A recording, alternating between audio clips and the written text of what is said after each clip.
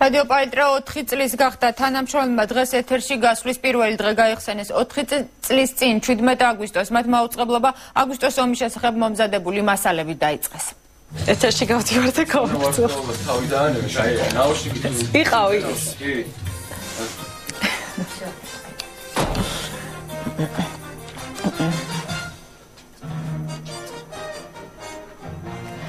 ეთერში რადიო პალიტრის ანა ჭითანავას უკვე ერთი წელია რადიო პალიტრის საინფორმაციო გადაცემა მიჰყავს. ეთერში გასვლის წინ აღარ ნერვიულობს, თუმცა ხშირად უწევს საინფორმაციო გამოშვების სამწუხარო ამბით დაწყება. დინარე იორში 21 წლის ახალგაზრდა დაიხშა. რადიო პალიტრა FM 103 და 9 სიხშირეზე მაუწყებლოს და საინფორმაციო ანალიტიკური ხასიათისაა. ახალი ამბები ეთერში ყოველ ნახევარ საათში ერთხელ გადის. რადიოს გადაცემების ფორმატი კი მსმენელს ინტერაქტიულ დისკუსიებში მონაწილეობის მიღების საშუალებას აძლევს. გვაქვს დაახლოებით 7 საავტორო გადაცემა, ესევე გვაქვს რა თქმა უნდა დღის შემაჯამებელი გადაცემა საინფორმაციო რეზიუმე და გეგმავთ უახლოეს მომავალში გარკვეული რაოდენობით გასართობი გადაცემების დამატებასაც. პირველი ეთერი რადიოს 4 წლის წინ ჰქონდა.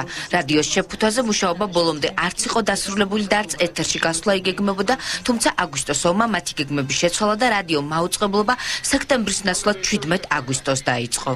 ამწუხაროთ ჩვენს დაბადების დღეს სევდიანი ისტორია ახლავს იმ როლმიზეს რომ ძალიან მძიმე დროს მოგვიწია ეთერში გასვლა, ეს იყო რუსეთ საქართველოს ომის პერიოდი 2008 წლის აგვისტო. და ჩვენ ვემზადებოდით სექტემბრისთვის ქონდა დაგეგმილი ეთერში გასვლა, იყო სამზადისი ამასთან დაკავშირებით, მაგრამ იმ მოვლენებმა რაც განვითარდა აგვისტოში საქართველოში გადაგვეწყვეტინა, რომ დროზე ადრე გავისულიყავით ეთერში. თავარი რაც არის ალბათ ჩვენს მუშაობაში, ეს არის ის რომ ვცდილობთ რომ არ ვიყოთ მხარე, ვცდილობთ დავრჩეთ მიუკერძოებლები, ვცდილობთ დავრჩეთ ერთგულები, თავარი პრინციპისა, რასაც ქვია სიტყვის თავისუფლება და ალბათ მეორე ძალიან მნიშვნელოვანი პრინციპი ეს არის დავიცვათ ეთიკურობა. რადიო პალიტრას 40-მდე თანამშრომელი ყავს. ის გაერთიანებული მედია სახლის პალიტრა მედიის შემადგენელი ნაწილია.